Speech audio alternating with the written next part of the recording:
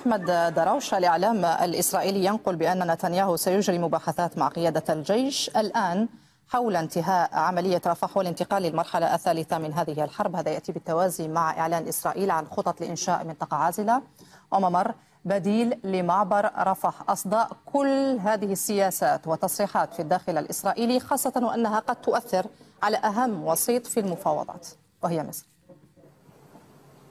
بالفعل سهام. نبدأ بهذا الخبر العاجل. القناة الثالثة عشرة الإسرائيلية تتحدث عن مشاورات يجريها رئيس الوزراء الإسرائيلي بنيامين نتنياهو مع قادة الجيش الإسرائيلي في هذه الأثناء لبحث انتهاء العملية العسكرية في منطقة رفح والانتقال نحو المرحلة الثالثة من الحرب على قطاع غزة. بحسب تقديرات القناة وتقديرات وسائل إعلام أخرى في إسرائيل فأن اجتياح الاحتلال الإسرائيلي لمنطقة رفح سينتهي خلال الأيام القليلة المقبلة وهناك من يقول خلال الساعات القليلة المقبلة بعدها سينتقل الاحتلال الإسرائيلي للمرحلة الثالثة من الحرب. سيبقى الاحتلال مسيطرا على محور فيلادلفي والذي يقع من ضمنه معبر رفح بالإضافة إلى السيطرة على محور نتسريم الذي يفصل شمالي القطاع عن جنوبي القطاع ويمنع بالتالي عودة المهجرين الفلسطينيين إلى منازلهم التي هجروا منها في شمالي القطاع بالإضافة طبعا إلى المنطقة العازلة التي أنشأها الاحتلال الإسرائيلي عند الحدود الشرقية والشمالية لقطاع غزة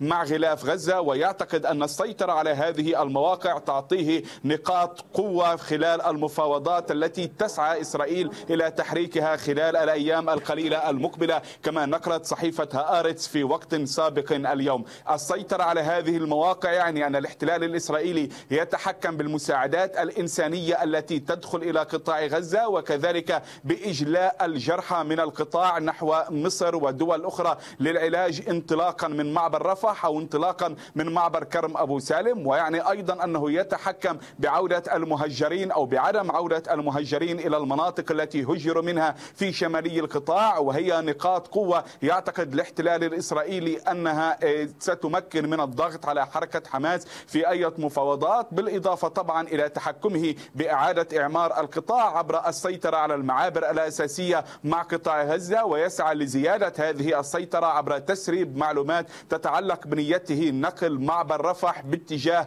المثلث الحدودي المصري الفلسطيني الإسرائيلي بالتالي التحكم ولو عن بعد بكل ما يدخل إلى قطاع غزة عبر المراقبة. المرحلة الثالثة من الحرب بحسب تقديرات إسرائيلية ستتخلل عمليات مداهمة مركزة نحو مناطق معينة في القطاع. هي تشبه الاجتياح الحالي الموجود في منطقة الشجاعية ويقول الاحتلال الإسرائيلي أنه كلما حصل على معلومات أن حركة حماس تسعى إلى بناء قوتها في منطقة معينة فإنه سيعاود اجتياح تلك المنطقة لكنه لن يحتفظ بقوات دائمة في قلب المدن الفلسطينية مع استمرار طبعا فصل شمالي القطاع عن جنوبي القطاع. لكن الخطوط العامة للمرحلة الثالثة من الحرب لم يجري الانتهاء منها وتخضع للنقاش في عدة اجتماعات منها الاجتماع الجاري الآن. سهام